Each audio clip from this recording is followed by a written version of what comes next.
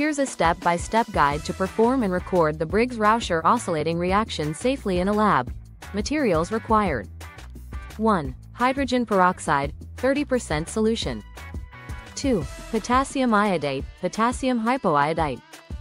3. Malonic acid, CH, COH. 4. Manganese sulfate, manganese 2 sulfate, as a catalyst. 5. Starch solution, used as an indicator. 6. Sulfuric acid, hydrogen sulfate, to maintain an acidic environment. 7. Distilled water, to dilute the solutions. 8. Beaker, at least 500 milliliters. 9. Magnetic stirrer, or manual stirring rod. 10. Safety goggles and gloves, for lab safety, procedure, prepare solutions.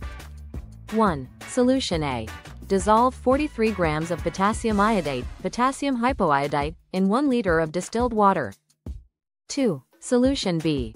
Dissolve 15 grams of malonic acid and 1.5 grams of manganese sulfate, manganese 2 sulfate, in 1 liter of distilled water.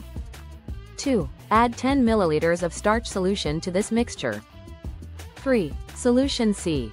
Use 30 milliliters of hydrogen peroxide, 30%, diluted with 970 milliliters of distilled water. Set up.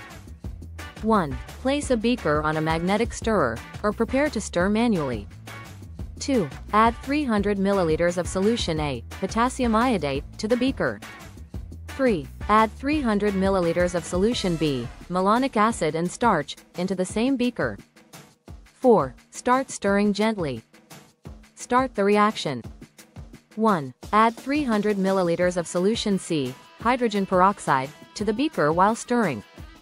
1. Almost immediately, you should notice the solution begin to oscillate between clear, amber, and dark blue. Observe. 1. The reaction will cycle through the color changes for several minutes. 1. These color shifts are caused by the periodic formation and destruction of iodine and iodide species, driven by the interaction of the reactants. Record the reaction. 1. Use a camera to record the reaction as it occurs. 1. Ensure your setup allows for clear visibility of the color changes. 1. You might want to zoom in to capture the dynamic transitions more clearly. Safety notes. 1. Handle hydrogen peroxide and sulfuric acid with care, as both are highly corrosive. 2. Wear gloves, goggles, and a lab coat to protect yourself from splashes. 3. Perform the experiment in a well-ventilated area or under a fume hood. By following these steps, you can safely conduct and record the Briggs-Rauscher reaction.